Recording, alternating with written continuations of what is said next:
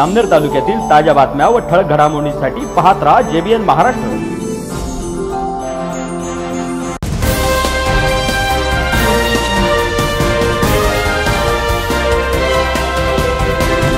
नमस्कार मी मिनाल चौधरी. पाहूया काही ठळक वृत्त. जामनेर तालुक्यातील शेंदुर्णी येथे राष्ट्रवादी काँग्रेस पक्षाच्या प्रदेश अध्यक्ष रुपाली चांडकर यांच्या प्रमुख उपस्थितीत महिला आढावा बैठक संपन्न झाली. या बैठकीला जामनेर तालुक्यातील महिला तसेच जिल्हा महिला पदाधिकारी राष्ट्रवादी काँग्रेस महिला कार्यकर्त्या मोठ्या संख्येने उपस्थित होत्या. या प्रसंगी रुपाली चांडकर यांनी महिलांच्या समस्या समजून घेत त्याबद्दल उपाययोजनांसंदर्भात चर्चा केली. तसेच दारूच्या बाटलीला पायकांची नावे द्या या नामदार महाजन यांच्या वक्तव्यावर महाजनांच्याच मतदारसंघात सर्वाधिक दारूची दुकाने असल्याने त्यांना सर्वत्र दारूच दिसते असा टोला देखील त्यांनी लगावला. पण एकाही नेत्याची दुसऱ्याची हिंमत आहे त्यांच्यापुढे तिकीट मागली इतकी हुकुमशाही आणि इतकी दडपशाही त्या पक्षामध्ये. आणि अनेक मोठ्या मोठ्या प्रसंगांना आम्ही सामोरे गेलो. पंचवीस वर्ष झाले या तालुक्यातला कार्यकर्ता कसा टिकतोय? कोणाच्या घरामध्ये अंगणवाडीची सेविका नाही मदतनीस नाही जेव्हा रोजगारची विहीर नाही कोणाच्या घरात संजय गांधी इंदिरा गांधी श्रावणबाळ योजनेचा पगार नाही तरी कार्यकर्ते घरकुलं सुद्धा नाही. म्हणजे या तालुक्याची खऱ्या अर्थाने जर सत्ता बसली आपली तर या सगळ्या प्रकरणांची चौकशी आपल्याला करावी लागणार आहे. खरे वंचित खरे जे गरजू आहेत ते आजही तसेच नेहमी आमदारांची आणि पक्षाची उदरीगिरी करणाऱ्यांच्या घरामध्ये सगळे पद तुम्हाला दिसतील. ज्यावेळेस आपलं आघाडी सरकार होतं आणि दोन वर्ष आपल्याला अंगणवाडीच्या माध्यमातून संजय गांधीच्या माध्यमातून अध्यक्षपद मिळाले त्यावेळी निश्चित रूपाने कार्यकर्त्यांना न्याय देण्याचा प्रयत्न आम्ही सातत्याने केला पण आज तेवीस वर्ष झाले या कार्यकर्त्यांना कुठलाही न्याय मिळत नाही. फक्त साहेबांचा विचार आणि त्या राष्ट्रवादीचे संघटन जिल्ह्याचे मार्गदर्शक भैयासाहेब सतीश अण्णा अरुणभाई चंद्राजी गुलाबरावजी देवकर या नेत्यांच्या सातत्याच्या संपर्कामुळे या का आमच्या मतदारसंघात कार्यकर्ते टिकून आहेत. अनेक ठिकाणी धमके आहेत. आता राठोडताई एकतीस आहे. जिल्ह्याच्या विजयंतीचे अध्यक्ष आहेत. हुशारीताई रुपालीताई. त्या जिल्हाध्यक्ष आपल्या महिला संघटनेच्या विजयंतीच्या. त्यांचा दवाखाना जामनेरमध्ये डेंटल सर्जन डेंटल सर्जरी. त्यांना सुद्धा महिला दवाखाना सुविधा त्रास या महाशयांचा आहे. की त्यांच्या दवाखान्याच्या वर मुद्दाम संदर्भातून बांधले. त्याचं पाणी खाली सोडलं. अनेक प्रकारचा त्रास. एकही कार्यकर्ता असा नाही की त्याला त्रास नाही. इतके हलकट विचाराचा माणूस या तालुक्यात पंचवीस वर्ष झाले. कसं राज्य करतोय आणि कसं राहतोय? आणि आपले कार्यकर्ते सुद्धा प्रतिकूल परिस्थितीमध्ये कसं त्याला तोंड देत आहे अनेक खोट्यानाट्या केसेस आपल्या कार्यकर्त्यांना झाल्या अनेक धमक्या झाल्या. अनेकांना आमिष देण्याचं काम झालं. पण एक कुठेही बळी न पडता आजपर्यंत साहेबांच्या विचारावर आणि राष्ट्रवादीने दाखवलेल्या मार्गावर ठामपणे पाहून टाकू पुढे चालतायत येणारा काळ जिल्हा परिषद असतील पंचायत समिती असतील जामनेर नगर परिषद असेल शेंदुर्णी नगर पंचायत सुद्धा आम्ही लवकरच बरखास्त करू. इतक्या मोठ्या प्रमाणात भ्रष्टाचार आणि नगरपंचायत कशी कपडे झालेली सत्ता बसल्यानंतर त्यांना दाखवू. निश्चित रूपाने येणारा काळ आणि येणाऱ्या कार्यकर्त्यांसाठी जे जे माझ्यासाठी घडले आणि एक राष्ट्रवादीचा विचार शेवटच्या घरापर्यंत पोहोचवण्याचं काम ज्या माता भगिनी तरुण कार्यकर्त्यांनी नेत्यांनी केलं पक्षाच्या फंडल अध्यक्षांनी केलं त्यांच्यासाठी त्यांच्यासाठी मी माझ्या रक्ताचं पाणी करेल पण शेवटपर्यंत त्यांच्या बाजूने उभा राहील आजच्या या कार्यक्रमाच्या अध्यक्षा महाराष्ट्र प्रदेश राष्ट्रवादीच्या अध्यक्षा श्रीमती रुपाली कथनकर ज्यांचं बरोबर ऐकलं आदरणीय संजय दादा गरुड व्यासपीठावर असलेले सर्व श्रेष्ठ महिला पदाधिकारी पत्रकार बंधू. खरं म्हणजे दादा साडेबाराची वेळ होती. आणि जवळपास एक वाजता ताई जळगाव निघाल्या. परंतु वाळगाव या शेजारी पाच दहा किलोमीटर ॲक्सिडेंट झाला. त्या ठिकाणी एक प्रवासी मृतावस्थेत सापडला. दोन का तीन त्या ठिकाणी पेशंट अवस्थेत होते. चार होते. कुठली ॲम्ब्युलन्स नव्हती. ताईंनी सहकार्य केलं आणि खाजगी गाड्यांमध्ये त्यांना हॉस्पिटलमध्ये दाखल करण्याचं काम केलं. म्हणून उशीर झाला. उशिरा का होईना या ठिकाणी उपस्थिती पाहिली. तर संजय दादा करून मी आपलं हार्दिक अभिनंदन करेन. की पराभूत झाल्यानंतर देखील या ठिकाणी महिलांची उपस्थिती चांगल्या प्रकारे गेल्या पंचवीस वर्षापासून आपण संघटना गेल्या चाळीस वर्षापासून रवींद्र भैया एकनाथराव खडसेंचा संदर्भ आहे. चाळीस वर्ष.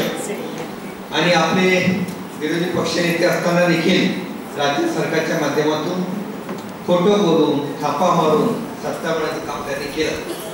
परंतु या देशाचे नेते आदरणीय ताईसाहेब खरंच साहेबांचं वय ऐंशी आहे. स्मरणशक्ती चांगली आहे. आणि काय त्यांच्या मनात आलं काय माहीत नाही. मला फॉर्म भरायला लावला जिल्हा अध्यक्ष राष्ट्रवादीचा ए बी फॉर्म माझ्या नावाने फॉर्म भरायला लावला.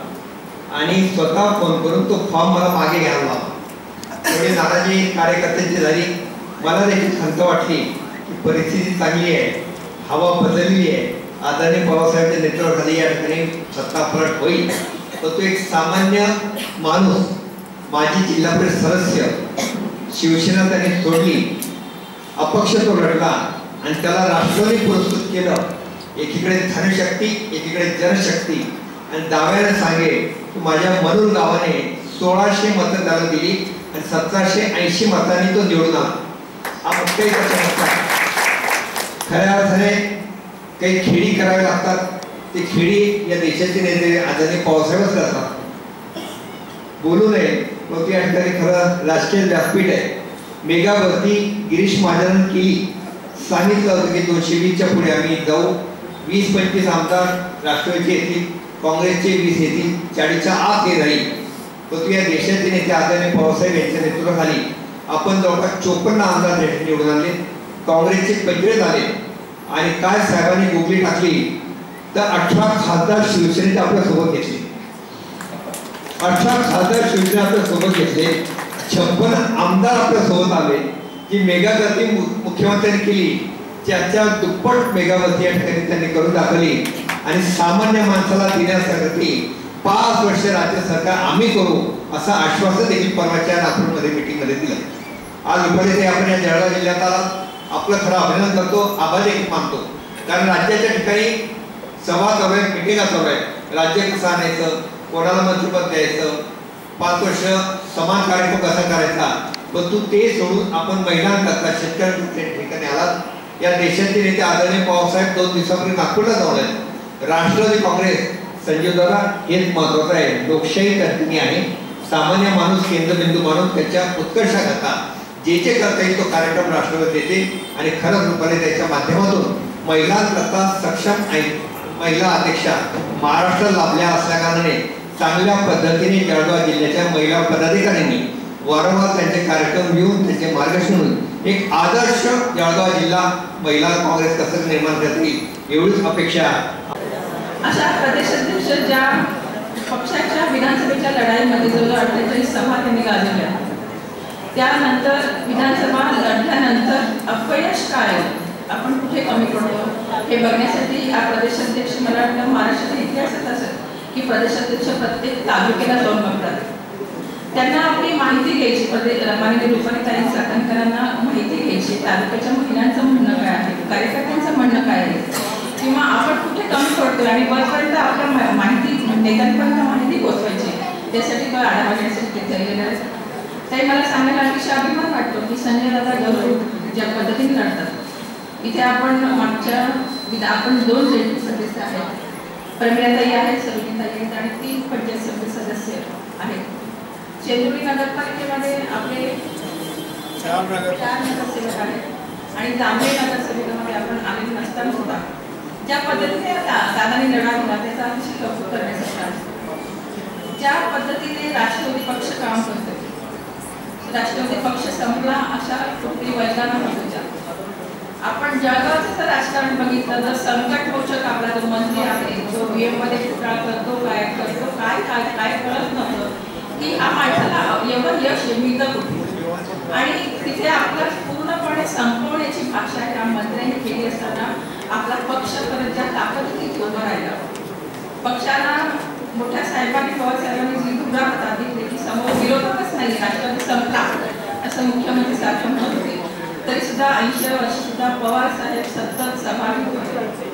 साहेबांनी ज्या प्रकारे सभा घेतल्या ज्या प्रकारे पक्षासाठी काम केलं ज्या पक्षासाठी अनेक त्यांनी काम केलं. मग सुरभाई ताई साखरकर तशात होत्या अमोल मिटकरी होते अमोल कोल्हे होते. मला असं वाटतं अमोल मिटकरची सभा दामणीला झाली होती आणि खूप मोठ्या प्रमाणात होती. साहेबांची सभा झाली असताना सुद्धा. आपण फार थोड्याफार फरकाने आपण पडलेलो आहोत. आणि दादांचं हे नेतृत्व दामणे तालुक्यामध्ये आम्ही केलं गेल्या अनेक वर्षापासून फक्त सहकार क्षेत्रामध्ये अनेक संस्था आपल्या ताब्यात असत होता आपलं संघटन कुठे कमी पडते काय? हा हिशोब आपल्याबद्दल द्यायचा आहे. आपल्या आता साहेबांनी बाबासाहेबांनी जे म्हणजे राजकारण केलं. महाराष्ट्राचे जे म्हणजे राजकारण केलं. महिलांसाठी जे म्हणजे राजकारण केलं. अनेक महिलांना पस- पन्नास टक्के स्थानिक स्वराज्य संस्थेमध्ये आरक्षण दिलं. म्हणून आज आपण अनेक ठिकाणी नगरसेविका म्हणून काम करतो झेडपी सदस्य म्हणून काम करतो. साहेबांनी महिला आरक्षण देऊन मला वाटतं महिलांसाठी फार कामगिरी केलेली आहे. ताई मला सांगायला अतिशय अभिमान वाटतो की राष्ट्रवादी पक्षामध्ये जेवढ्या महिला सक्षम आहेत तेवढ्या महिला पेटीस आहेत. आज बघा सगळ्या महिला स्टेजवर आहेत आणि पुरुष पदाधिकारी बाजूला बसले ही सुद्धा आपली पक्षाची फार मोठी देणगीच म्हणावी लागेल. ताईंचा दौरा याच्यासाठी आहे की आपल्या ज्या विधानसभेच्या निवडणुका लागल्या आहेत आणि त्या झाल्या नाही. तर जी परिस्थिती आपल्या राष्ट्रवादी पक्षाची झालेली होती ती खूप दयनीय होती. पण ऐंशी वर्षाचा तरुण आपल्या पायाला भिंडी बांधून अक्षरशः पायाला जखमा असतील किंवा एवढा मोठा आजारावर संकटावर मात करत त्यांनी ज्या परिस्थितीमध्ये राष्ट्रवादी पक्षाला आज महाराष्ट्रात एक नंबरचं स्थान मिळवून देण्यामध्ये पवार साहेबांचा खूप मोठा सिंहाचा वाटा आहे. आणि त्या योगेच आज आपण महिला सगळ्या इथं संघटित झालो आहोत. त्या अनुषंगाने रुपालीताई सागरकर ज्या जागा आपल्या पराभूत उमेदवार असतील त्यांच्यासाठी संघटना बांधणीसाठी त्या आपल्याला मार्गदर्शन करणार आहेत. मी फार काही वेळ घेणार नाही. ताईंना ऐकण्याची सगळ्यांना उत्सुकता आहेच. ताईंचं कार्य म्हणजे आपल्याला सगळ्यांना माहितीच आहे. ताईंची निवड म्हणून काही जास्त दिवस झालेले नाही. ताईंचा या तीन ते चार महिन्यामध्ये निवड झाल्यानंतर हा दुसरा दौरा लागलेला आहे. आणि या दुसऱ्या दौऱ्यातच ताईंची एवढी कामगिरी प्रचंड प्रमाणात लोकप्रियता वाढली की त्या स्टार प्रचारक म्हणून ज्यांनी निवड केली पवारसाहेबांनी ती अगदी योग्य पद्धतीने झालेली आहे. आणि महिलांचे प्रश्न सोडवण्यासाठी त्या नेहमीच अग्रेसर असतात. आणि दुसरं असं की बचत गटांच्या माध्यमातून ज्या सुप्रियाताईंनी काम सुरू केलं तेच काम आपल्याला रुपालीताई चाकणकर या समजावून सांगावे. ताई आम्ही आज दोन गटामधून जामनेरमधून फक्त आम्ही दोन जिल्हा परिषद सदस्य निवडून आलेले आहेत. तरी आम्हाला जो सत्ताधारी पक्षाकडून जे आम्हाला वागणूक मिळते चाकणकर ताईंनी सांगायची ते आम्हाला जी वागणूक मिळते ती मी दोन शब्दांनी तुम्हाला सांगते. आणि आमच्या गटासाठी दादा सुद्धा नेहमीच त्यांची गटामध्ये काम करण्याची संधी त्यांना मिळावी आणि जास्तीत जास्त काम व्हावे या अशी आमच्या दादांची सुद्धा इच्छा असते.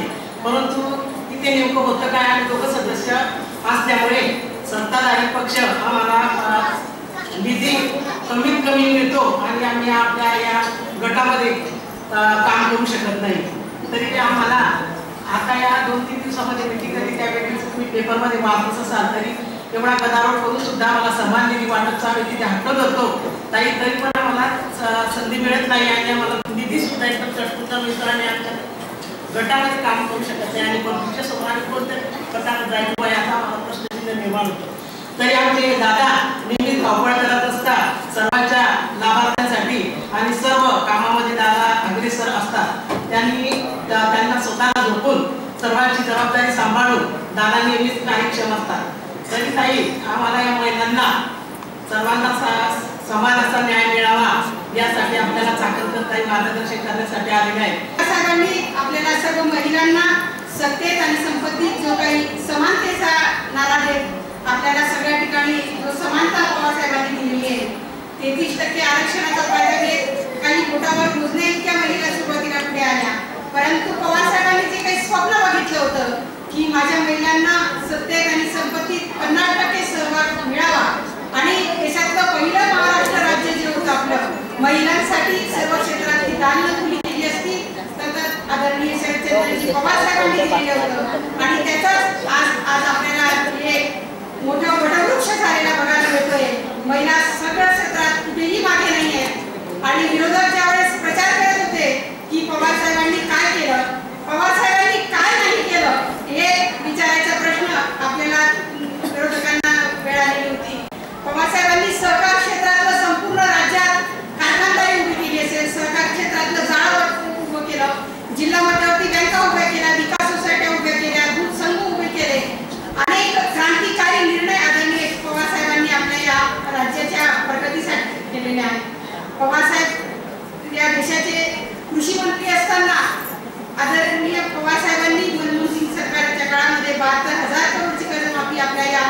शेतकरी बांधवानातील आज शेतकरी जे होरपाडला जातोय आणि शेतकऱ्यांचे आशू पुसणारे म्हणून आदरणीय पवार साहेबांच्या पक्षाकडे पाहून आपण सर्वजणांनी आदरणीय संजय दादांच्या पाठीशी उभे राहिला. संजय दादा सुद्धा आपल्या सातत्याने त्यांचा परिवार जिल्हा परिषदेच्या माध्यमातून सर्वसाई असतील त्यांचे सर्व सहकारी असतील आपल्या सुखदुःखामध्ये सहभागी होण्याचा सातत्याने प्रयत्न करतातच आहे आदरणीय अं, रुपालीताई आज आपल्याशी संवाद साधण्यासाठी येणार आहे. तुम्ही जे काही काम केलं पक्षासाठी जे काही योगदान दिलं त्यासाठी आपल्याशी सुसंवाद साधण्यासाठी म्हणून ताई संपूर्ण राज्याचा दौरा करतायत या विधानसभेच्या निवडणुकीच्या निमित्तानं आदरणीय लोकनेते शरदचंद्रजी पवार साहेब यांच्या विचारांना साथ देत महाराष्ट्राच्या जनतेने भरभरून मतदान केलं आणि खऱ्या अर्थाने मी तुमची कृतज्ञता व्यक्त करण्यासाठी या ठिकाणी आले. कृतज्ञता व्यक्त करत असताना मला तुम्हाला आवर्जून धन्यवाद द्यायचे आभार मानायचे कारण की संजय दादा आमच्या दृष्टिकोनातून तुम्ही खऱ्या अर्थाने विजयी उमेदवार आहात कारण शेवटपर्यंत तुम्ही विरोधकांना घाम फोडला. आणि इतकंच नाही जे या भागाचे मंत्री होते ते बिचारे फॉर्म भरल्यानंतर त्यांना तुम्ही या भागातून हलू दिलं नाही. एकदाच गेले ते बिचारे एकदाच त्यांच्या इंदापूरच्या उमेदवाराच्या प्रचाराला गेले पण त्याला देखील पाडून आले. म्हणजे फार काही विशेष एक दिवस देऊन त्यांनी काही केलं नाही की तो उमेदवार पण पडला ते म्हणत असत कशाला मी यांना इकडे बोलवलं? इथं आल्यानंतर मला समजलं महिलांशी चर्चा करताना. की त्यांनी सांगितलं होतं दारूच्या वाटलेल्या बाईचं नाव द्या. मग आल्यानंतर माझ्या लक्षात आलं दारू दारू दारू इतकं का त्यांचं नाव दारूचं चालत असेल तितके दारूचे धंदे इथे चालतात. त्याच्यामुळे त्यांच्या तोंडात दारूशिवाय दुसरा विषय नसेल. पण त्यानिमित्तानं मला सांगायचे महिला भगिनी मोठ्या संख्येने या ठिकाणी उपस्थित आहेत. या भागातले दारूचे अड्डे बंद झाले पाहिजे. कारण या दारूमुळे या दारूनं महिलांचे संसार उद्ध्वस्त होतात एक संसार उद्ध्वस्त होत नाही तर त्या घरातल्या मुलांचं भवितव्य देखील उद्ध्वस्त होतं. त्याच्यामुळे मला वंदनाताई पण सांगत होत्या की या भागातले दारूचे अड्डे आपल्याला उद्ध्वस्त करतात. संजय दादा तुम्हाला देखील चांगल्या पद्धतीने माहिती आहे महिलांचा ठराव मंजूर झाला तर त्या ठिकाणी दारूचे धंदे बंद करता येतात. आणि नाही झाले तर मी माझ्या खडकवासच्या भागामध्ये देखील पोलीस यंत्रणेकडून दारूचे अड्डे बंद झाले नाही तर महिलांचा बोलता घ्यायचा आणि जाऊन दारूचे अड्डे उद्ध्वस्त करायचे ही यंत्रणा त्या ठिकाणी काम करेल जर तुमच्याकडून होत नसेल तर आमच्या हातात द्या आम्ही ते करून दाखवू रस्त्यावर या महिला उतरल्या पाहिजे. ज्या पद्धतीने प्रचाराची यंत्रणा या महिलांनी सांभाळली त्याच पद्धतीने येणाऱ्या काळामध्ये या भागातल्या अनेक अडचणी तुम्ही मांडलेल्या आहेत. या अडचणी सोडवण्यासाठी तुम्हाला सगळ्यांना संजय दादा बरोबर ठामपणे उभं राहायचं पण हे सगळं करत असताना तुमच्या डोक्यात एक प्रश्न पडला असेल. आता निवडणुका झाले जरा महिना दोन महिना आम्हाला आराम करून द्यावा. जसं आता कल्पना ताईंनी सांगितलं विरोधका ताईंनी सांगितलं संजय दादांना पण वाटलं असेल की ताई कशाला मला तर संजय दादा ही जनता तुमच्यावर प्रेम करणार आहे. ज्यांनी तुम्हाला मतदान केले त्यांचा तुमच्यावर अधिकार आहे. आणि या अधिकाराने पुन्हा एकदा तुम्हाला यांच्यासाठी उभं राहायचंय यासाठी उभं राहायचंय की इथला असलेला हा भस्मासूर हा राक्षस उद्ध्वस्त करायचा. त्याच्या विचारांचा राक्षस उद्ध्वस्त करायचा. खऱ्या अर्थानं या ठिकाणी येताना सुद्धा आम्ही पाहिलं इतके दिवसेंदिवस तुमच्याकडे मंत्रीपद होतं तर त्या भागाचा विकास खऱ्या अर्थानं व्हायला होता. ज्याचा उदाहरण तुम्ही बाकीच्या उमेदवारांच्या प्रचाराला जाता तिथं देता आलं पाहिजे होतं. पण असं काही झालं नाही. दुर्दैव असं आहे की त्याच्यावरून लक्षात येते लोकांच्या. जे स्वतःच्या भागातच चांगल्या पद्धतीचा विकास करू शकत नाही ते तुमच्या दुसऱ्याच्या भागात जाऊन प्रचार करताना काय उदाहरण देत असतील? म्हणून लोकांनी त्यांना पण पाडले. आणि यांना पण निसर्गचा पराभव दिला. फार काही सा या उमेदवाराकडे साम दाम दंड भेद होतं. शासकीय लोकांची मुस्कटदाबी करणारी शासकीय यंत्रणा होती. या सगळ्या आपल्या उमेदवाराकडे डॉक्टर बाबासाहेब आंबेडकरांनी दिलेला घटनेचा अधिकार होता. त्याच्यामुळे साहजिकच आज सुद्धा माझ्या दृष्टिकोनातून आणि पक्षाच्या दृष्टिकोनातून आपल्या सगळ्याच्या जनतेच्या मनातले खऱ्या अर्थानं विजयी उमेदवार हे सज्जन आहेत या निमित्तानं तुम्ही सांगितलं की आम्हाला गेले चाळीस वर्ष फार त्रास होते संजय दादा जितके घराचे घाव जास्त असतात तितके मूर्तीला आकार येतो. त्याच्यामुळे काळजी करू नका मूर्तीचा आकार घडतोय. चांगल्या पद्धतीचं नेतृत्व या भागामध्ये महिलांचे प्रश्न मांडत असताना युवतींच्या आणि महिलांच्या अत्याचाराच्या बाबत महाराष्ट्र हा देशात तिसरा क्रमांक. ज्यावेळेस भाजप सरकार सत्तेत होतं फडणवीस सरकार होतं ज्याच्याकडे स्वतःकडे गृहमंत्री पद होतं. पण गृहमंत्री पदाला ते न्याय देऊ शकले नाही. मुख्यमंत्री आणि गृहमंत्री पद सांभाळत असताना सर्वात अपयशी ठरलेले हे सरकार आणि सर्वात अपयशी गृहमंत्री होते. त्याच्यामुळे येणाऱ्या काळामध्ये राष्ट्रवादी काँग्रेस पक्षाची जबाबदारी राष्ट्रवादी महिला काँग्रेस पार्टीच्या पदाधिकाऱ्यांची जबाबदारी ज्या ज्या ठिकाणी महिलांवरती अत्याचार होतात त्या त्या ठिकाणी आपण त्यांच्याबरोबर खंबीरपणे उभे राहायचे. पण हे करत असताना आपल्या स्थानिक पोलीस स्टेशनमध्ये असेल पोलीस ठाणे असेल त्या ठिकाणी महिला पदाधिकाऱ्यांनी उद्याच्या उद्या जाऊन त्या ठिकाणी संबंधित पोलीस अधिकाऱ्यांची भेट घ्या. त्या ठिकाणी कमिटी नसतील तर त्या अस्तित्वात आणा त्याच्यासाठी सर्व पक्षीय गट एकत्र तयार करा. आणि हा गट तयार करत असताना बीट मार्शलची मागणी करा. दक्षता कमिटी आणि बीट मार्शलच्या माध्यमातून ज्या शाळा कॉलेज आपल्या भागामध्ये आहेत स्वच्छती स्वच्छतेकरणाचे अभियान असेल किंवा त्यांच्या समुपदेशनाचा कार्यक्रम असेल अशी यंत्रणा राबवत असताना दहा एक्क्याण्णव हा टोल फ्री क्रमांक मुलींच्या सुरक्षतेसाठी आहे याची जाणीव तिला करून द्या. कोणतीही महिला किंवा कोणतीही युवती अडचणीत असेल तर राष्ट्रवादी काँग्रेस पार्टी आम्ही तुमच्यासोबत आहोत हा आत्मविश्वास दिला जातो यामध्ये अनेक मुद्दे यामध्ये येतात की महिलांच्या सबलीकरण आणि सक्षमीकरणाचा विषय हा फार महत्त्वाचा वाटतो. या ठिकाणी जिल्हा परिषद सदस्य आहेत. मला विशेष तुमच्या तिघींचंही मनापासून कौतुक वाटतं हे करत असताना तुम्ही जिल्हा परिषद पंचायत समितीच्या माध्यमातून बचत गटाची बांधणी करत असताना ज्या जिल्हा बँकेला बचत गट जोडलेले आहेत त्यांच्याकडून तुम्ही ठराव मंजूर करून घेऊन अर्थसहाय्य मागा. पंधरा महिन्यांचा बचत गट तयार झाल्यानंतर यामध्ये अनुदान आणि फिरता निधी घेता येतो ज्याच्या माध्यमातून बचत गटाचा एका पंधरा महिन्यांच्या बचत गटाचा किंवा कमीत कमी दहा ब- महिलांच्या बचत एका बचत गटाचा पाच महिलांचा व्यवसाय गट करता येतो. या व्यवसाय याच्या माध्यमातून तुम्हाला व्यवसाय कोणता करायचा आहे हे ठरवा. त्याचं प्रशिक्षण तुम्हाला जिल्हा परिषद पंचायतीच्या माध्यमातून दिलं जातं. हे प्रशिक्षण प्रशिक्षण दिल्यानंतर तुम्ही तयार केलेल्या मालाला उत्पादन देत असताना आणि मार्केटिंग करत असताना ती सुद्धा जबाबदारी हे प्रशिक्षक उचलतात. त्याच्यामुळे माझी तुम्हाला विनंती आहे आपल्या घरामध्ये नवऱ्याच्या बरोबर खांद्याला खांदा लावून काम करत असताना घरात चार पैसे माझ्या स्वतःच्या हक्काचे आले पाहिजेत हे असताना आपल्याला सबलीकरण आणि सक्षमीकरणाच्या माध्यमातून मांडायचं. आदरणीय खासदार सुप्रियाताई सुळे यांच्या माध्यमातून एस एस पी सामाजिक अभियानची बांधणी करत असताना वेगवेगळे उद्योग आणि व्यवसाय आपण महिलांना देण्यासाठी प्रयत्न करत असतो. उद्याच्या काळामध्ये जर तुम्हाला कोणाला विचारलं की राष्ट्रवादी काँग्रेस पार्टीने तुम्हाला काय दिलं तर तुम्हाला सांगता आलं पाहिजे राष्ट्रवादी काँग्रेस पार्टीने मला माझ्या पायावरती उभं राहायला शिकवलं. त्याच्यामुळे हा विचार घेऊन जात असताना व्यासपीठावरील सर्व सन्माननीय सदस्यांना माझी विनंती आहे.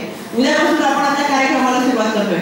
बचत गटाची बांधणी करणं बचत गटातून व्यवसाय गट तयार करणं व्यवसाय गट तयार केल्यानंतर या महिलांना मार्केटिंग करेपर्यंत मदत करणं बँकांमधून अर्थसहाय्य देणं युवतींच्या सुरक्षतेची जबाबदारी आपण घेणं आणि या सगळ्यांच्या पलीकडे जाऊन मला आवर्जून सांगायचंय. हा कृतज्ञता दौरा करत असताना खऱ्या अर्थाने लग्न लागल्यानंतर नवरा नवरी निघून जातात वरणी मंडळी निघून जातात मग लग्न चांगलं झालं हे सांगायला कोणीतरी पाहिजे. या निमित्ताने आम्हाला संजय दादा तुम्ही लढला किती काळ्यापेक्षा लढला हे फार महत्वाचं होतं. म्हणून तुम्ही चांगल्या पद्धतीची लढाई दिली. हे सांगण्यासाठी आवर्जून या ठिकाणी आले आणि आपल्या सगळ्यांचे आभार मानण्यासाठी आले. या निमित्तानं अवकाळी पावसामुळे शेतकऱ्याचं आतोनात नुकसान झाले मला आवर्जून सांगायचंय निवडणुका संपल्या राजकारण संपलं. राजकारणाच्या नंतर ऐंशी टक्के समाजकार्याची बांधिलकी आपल्या सर्वांची. आदरणीय लोकनेते शरदचंद्रजी पवार साहेब यांच्या विचारांचा वसा आणि वारसा घेऊन काम करणारा राष्ट्रवादी काँग्रेस पक्षाचा हा कार्यकर्ता आहे. म्हणून मला तुम्हाला सर्वांना मनापासून विनंती करायची. हा शेतकरी ज्यावेळेस संकट आहे त्याला दिलासा देण्यासाठी आणि खऱ्या अर्थानं मला आवर्जून सांगायचंय माझा राष्ट्रवादी काँग्रेस पक्षाचा कार्यकर्ता हा शेतकऱ्याबरोबर त्याच्या बांधावरती दिसला पाहिजे. त्याची चौकशी करा. त्याच्या शेतीचे पंचनामे झाले आहेत का नाही याची विचारपूस करा. मला दुर्दैवानं सांगावं असं वाटते हेक्टरी आठ हजार रुपये शेतकऱ्याला मदत दिलेली आहे. शेतकऱ्यांनी काल मी धुळेमध्ये परवा धुळ्यात होते. कालपासून जळगावचा दौरा चालू आहे. दोन दिवस धुळ्यामध्ये असताना तिथल्या सिंदखेडा तालुक्याच्या शेतकऱ्यांनी मला आवर्जून सांगितलं ताई आठ हजारामध्ये आमच्या बी बियाणे आणि खताचा सुद्धा खर्च निघत नाहीये. आम्हाला किमान पंचवीस हजार रुपये तरी हेक्टरी मिळाले पाहिजे आणि ही मागणी राष्ट्रवादी काँग्रेस पक्षाच्या पदाधिकारी कार्यकर्त्यांनी उचलून धरावी ती शासनाकडे मांडावी. कारण त्याला मदत मिळणं गरजेचं आहे. त्याचं कुटुंब जगलं पाहिजे.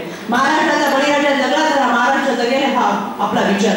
या निमित्तानं आदरणीय लोकनेते शरदचंद्रजी पवार साहेब सत्ता स्थापनेचा जरी विषय चालू असेल तरी त्या मीटिंगमध्ये मी स्वतः असताना साहेबांनी सांगितलं की सरसकट कर्जमाफी आणि मोफत वीज हे धोरण राष्ट्रवादी काँग्रेस पक्षाचं. आणि ते आपल्याला या शेतकऱ्यांपर्यंत पोहोचवायचं. मला आवर्जून पत्रकार बांधवांना सांगायचंय की आमच्या या मिटिंगचा बैठकीचा फोटो तुम्ही लावला नाही तरी चालेल बातमी नाही लावली तरी चालेल पण एक गोष्ट मला आवर्जून सांगायची ती म्हणजे परवा सिद्धखेडा तालुक्यामध्ये असताना बळसाणे म्हणून गाव आहे या गावाचा दौरा करत असताना माझ्याबरोबर संदीप दादा बेडसे होते. संजू बाबू मला आवर्जून सांगायचे त्या कांदा उत्पादक शेतकरी होते. या शेतकऱ्यांना आम्ही विचारलं बाबा तुमच्या शेतीचे पंचनामे झाले का? त्यांनी सांगितलं हो ताई झाले पण कसे झाले? त्याला त्यांनी व्हॉट्सअप मोबाईलवरती एक व्हॉट्सअप ग्रुप केलाय. पंचनामा ग्रुप बळसाने आणि या मोबाईलवरती त्या ग्रुपमध्ये शेतकऱ्यांनी त्या शेतमालाचे आणि शेतीचे फोटो काढायचे आणि पोस्ट करायचे. ते फोटो पोस्ट केले म्हणजे झाला तुमच्या शेतीचा पंचनामा. मला आश्चर्य वाटलं. प्रत्येक शेतकऱ्याकडे अँड्रॉइड मोबाईल असेलच असं नाही. आणि असला तरी त्याला तो चालवता येईल का नाही हेही माहीत नाही. चालवता आला जर ते फोटो त्यांनी त्या ग्रुपवरती पोस्ट केले तर तिकडे ते पोचले म्हणून तुमच्याकडे पोच पावती काय असणार? ठीक आहे त्या मोबाईलवरती आपण हे पाहू फोटो पाठवले असतील त्याच्यावर ब्ल्यूटी कली की आपण समोरतो समोरच्या माणसाने फोटो पाहिले किंवा उचलले असतील. पण यामध्ये शेतकऱ्याचं नाव गाव त्याचं क्षेत्र शेतमालाचं कोणता माल घेतलाय याची नोंद कुठे? आणि जरी नोंद झालीच असेल तरी ही नोंद होत असताना त्याला टाकून खात्री काय की तुमच्या शेतीचा पंचनामा झाला म्हणून तुमच्यापर्यंत निरोप पोहोचलेला आहे.